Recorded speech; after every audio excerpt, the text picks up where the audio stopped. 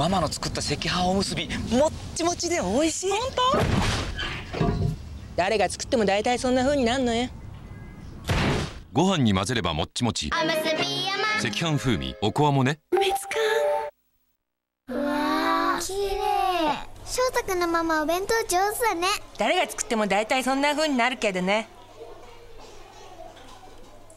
ご飯に混ぜれば彩りアップ。おむすび山。